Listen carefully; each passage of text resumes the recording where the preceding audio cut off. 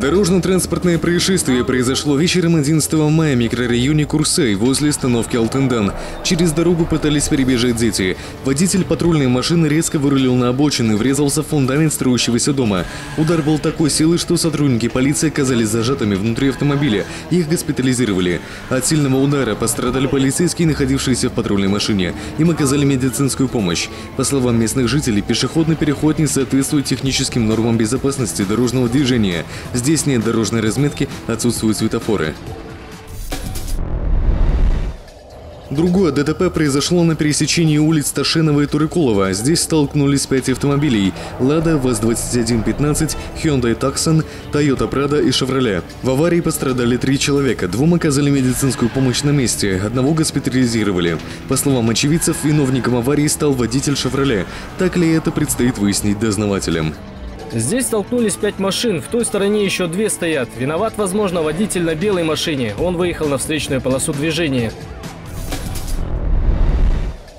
Героин в особо крупном размере нашли полицейские у жителей Шимкента. В ходе рейдовых мероприятий в вечернее время подозрение полицейских вызвал мужчина, находившийся внутри заброшенного здания на территории Янбекшинского района. Заметив приближение стражи порядка, он поспешил покинуть строение, но был задержан.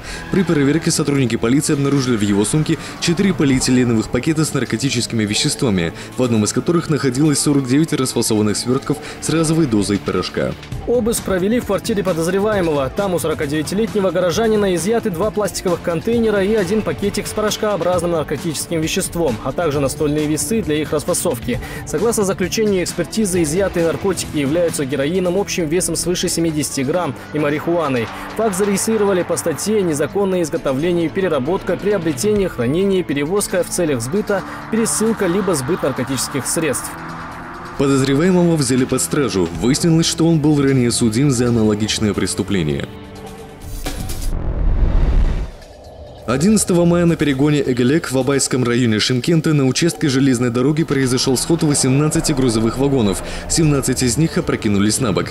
В результате схода вагонов повреждены 11 опор линии электропередач и частично железнодорожное полотно. Пострадавших нет. Сейчас поезда курсируют по расписанию. Причина схода вагонов и ущерб устанавливается.